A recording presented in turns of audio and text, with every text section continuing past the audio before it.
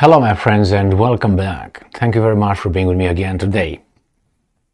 The International Economic Forum in St. Petersburg is uh, ongoing, and Vladimir Putin, the president of Russia, took some questions. And I have two articles here one from the Telegraph and the other one from Reuters. The Telegraph will deal with one subject, and then uh, the other one uh, will the Reuters one will deal with a few answers that Putin gave to some uh, question asked about nuclear weapons, uh, which are already deployed in Belarus, for example, and many other questions that he's going to answer. Uh, also about the nuclear weapons uh, reduction, which he says, I'm not going to do it, and he's going to tell us why, and so on. Let me start with um, the Telegraph article, and uh, here it is. It's from today, an hour ago, on the date of June 16th, 2023. Vladimir Putin tells West to, and I'm quoting, go to hell, and quote, on nuclear arms reduction. In the other article that I have ready, they say they can screw themselves. This is what uh, the other article's translation is from Reuters. So let's see what this guy is saying here. Vladimir Putin told the West to, and I'm quoting, go to hell on nuclear arms reduction as he confirmed that atomic weapons have already been deployed to Belarus. And the Russian president, speaking at the annual St. Petersburg Economic Forum, said, and I'm quoting, We have more nuclear missiles than NATO countries, and they want to reduce our numbers. End quote. And I'm quoting uh, Putin, go to hell, end quote. He said to applause from visiting delegates. So um, this is what um, they say Putin said that the first part of a nuclear weapon had been delivered to Belarus, with the process set to be complete complete by summer. It will mark the first time Moscow has deployed nuclear weapons outside its borders since the fall of the Soviet Union. Russia is, quote unquote, theoretically ready to fire an atomic weapon if its territorial integrity is threatened, Putin said. So here he is.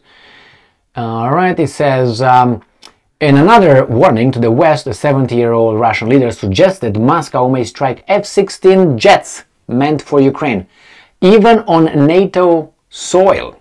So I was thinking about this a few days ago. Uh, F 16s cannot operate on the uh, airfields of Ukraine according to Western experts, because of their limited distance, which F-16 supposedly, uh, technically, they need longer, and then the quality of the, um, how do you call it, takeoff, the airfield. It has to be clean and all that, and put with diamonds around and flowers and you know environmentally uh, friendly. Therefore, they will not be able to use them, but maybe even one point or two points airfields. If Russia blows them up, done. So what he says that could happen is the NATO member states that, oh, we're going to give Ukraine F-16s, but they will take off from NATO countries, NATO member countries, which is Romanian, Romania or Poland. Mm, then that's about it because everything else has to go around uh, Belarus, uh, the Baltic states. I'm not putting uh, Slovakia in that, even though Slovakia also is uh, having a border with uh, with Ukraine. I know that Hungary will not do it. Russia, if you remember, at the beginning of the war, the military operation, uh, warned at one point when a Ukrainian fighter jet, a MiG, flew around and then it was chased and took refuge in Romania. So crossed the border to Romania. Obviously, the Romanians allowed him to allowed this MiG to do it. Landed in the airfield in Romania. And Putin said, or the Russians, if that airplane takes off and engages again, we're gonna hit that Romanian airfield. I never heard of that airplane, air, air, airplane anymore. So I don't know what happened over there. I don't think they blew anything up, but it's probably still there or flew and uh, went like a little snake slithering to somewhere else. So in this case, Putin says if NATO countries are going to facilitate the takeoff and landing of the F-16s and they will be engaged in attacking Russian targets and come back and get out of the territory, he says, well, we probably have to hit them where they are. That is, NATO countries. He said this before with uh, countries that will um, create repair hubs for the airplanes. So he said if, if these countries, which I enumerated, which could be three only Poland, Romania, and Slovakia create these repair hubs not for tanks, for airplanes, we're gonna hit them. That was uh, about five, six months ago, maybe more. Let's go back. So this is what he's talking about here. So, and I'm quoting um, Putin. F-16 aircraft will burn like these tanks, end quote. He said, referring to Russian strikes on German Leopard 2 tanks, and I'm quoting, if they, the airplanes, are based in air bases in other countries but are used in Ukraine, then we will have to think carefully where to hit them. End quote.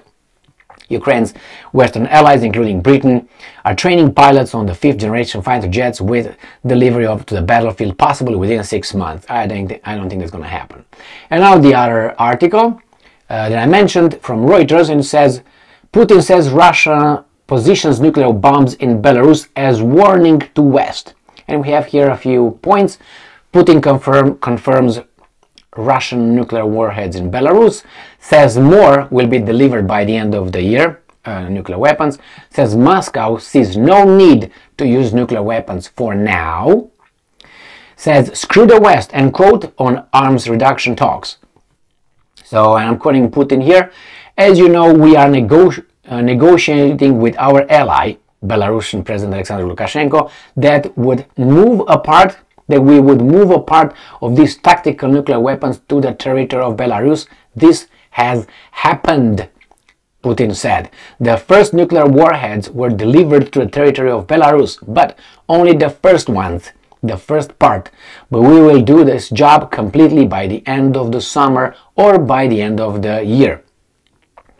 So it is precisely an, as an element of deterrence, the nuclear weapons, so that all those who are thinking about inflicting as Americans, inflicting a strategic defeat on us, are not obvious to these circumstances, are not too ob- oblivious, I'm sorry, are not oblivious to this circumstance. So that means we told them, now they know this, look what's going on here.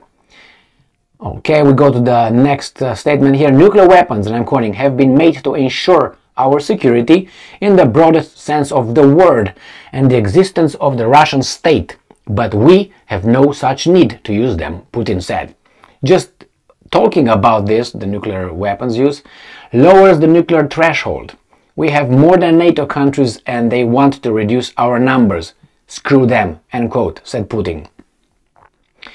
So um, it says, as for demilitarization, soon Ukraine will stop using its own equipment altogether. There's nothing left.